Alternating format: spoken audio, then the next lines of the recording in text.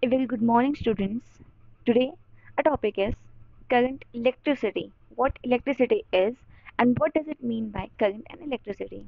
So, the topics which we are going to cover is potential and potential difference, conductors and insulators, which are bad conductors, electrical resistance and Ohm's law, and connection of resistors and effective resistance.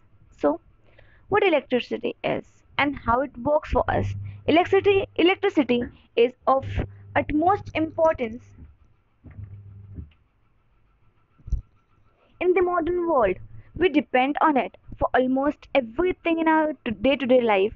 In order to avoid the inconvenience faced due to failure of power supply, hospitals, banks, offices, and private institutions make alternative arrangements with the help of generators, electricity is used for running electric furnaces, electric motors, and several other instruments used in the industries.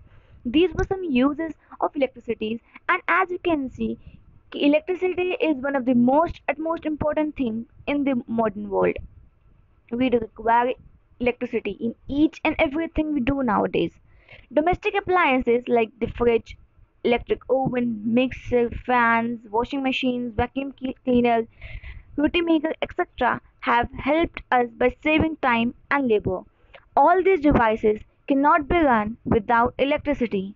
Not only human beings, but some animals also use electricity. For example, fishes such as eels use electricity to catch their prey and also for self-defense. The lightning that strikes the earth is an excellent example of natural flow of electricity. electricity.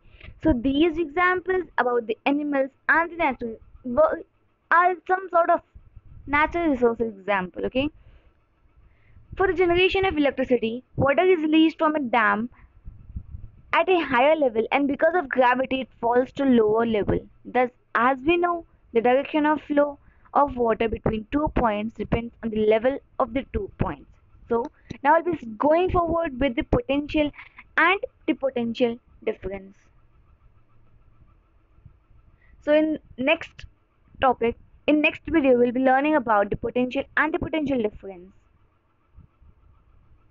You can just see around it, around yourself, how electricity works and how it is helpful and how it is important in your life. Thank you.